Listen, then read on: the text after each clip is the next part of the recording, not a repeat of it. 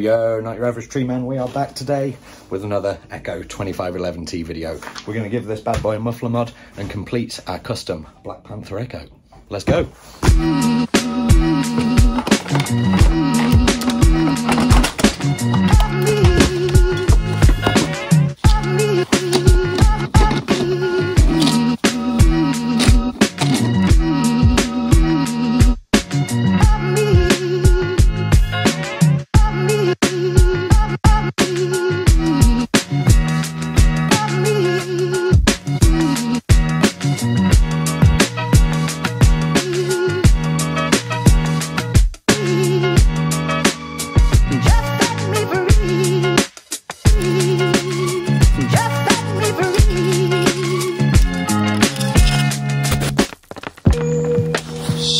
Then, let's have a look at our handiwork. What we've done is set up another opening, another exhaust at the same angle. So we've uh, moved this metal, literally just with some pliers, just pushed it up and then pulled it out.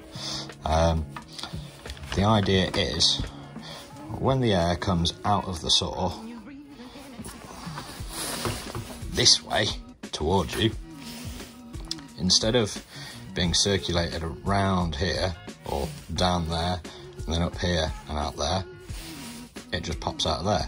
Obviously with the pressure, some of it will still come out of this way. Um, it'll be a lot louder, but it will get rid of the fumes much quicker and it, basically it'll stop it choking itself. This engine um, is a beast. It, it's capable of a hell of a lot more than, uh, than what it comes as when it's stuck. So uh, yeah, let's crack on.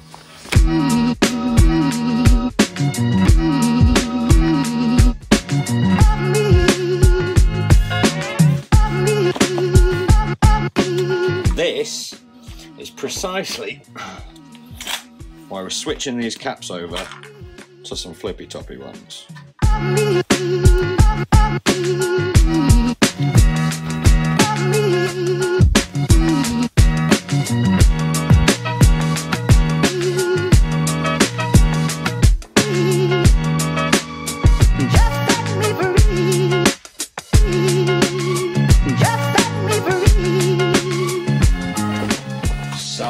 Let's face it, this is what you're all here for. You want to hear what she sounds like, see what she cuts like. Let's give it a whirl.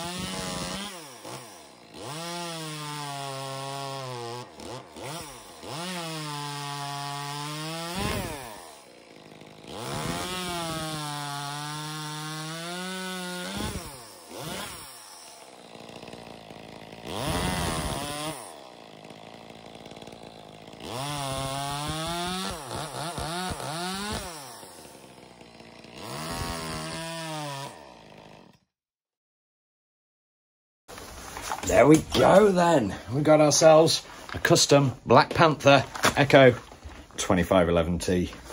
Oh, she's lovely. Okay, 15 seconds before I go. Here's some quick tips. When you put a new chain on, give it a little bit of WD-40 or some kind of oil just to uh, ease it along as you run it in. When you get over to doing this mod, make sure that you're angling it away from the plastic. You don't want to melt your housing. Over on this side, these are Husky 525 caps. Uh, they're tiny little top handle saw.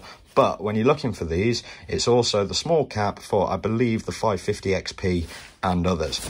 Oh yeah, and if you're using these Husky caps, I recommend you stick a P and an O on them so you know which one's petrol, which one's oil. Um, these are the PNFA A spell. I don't know. Just search Panther. We're really bad spelling, and you'll come up with these. We're probably going over 15 seconds now, but anyway, the last one for you. This dye.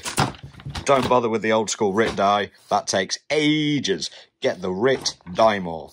And then you'll be down to a few minutes um, for like kind of low level penetration like this. You will see we've got a couple of little bits of orange coming through. Um, little bits of orange. So I should have just left it a little bit longer when I was dyeing these side panels for a little bit deeper penetration with the dye. But that is our sexy little Black Panther Custom Echo 2511T.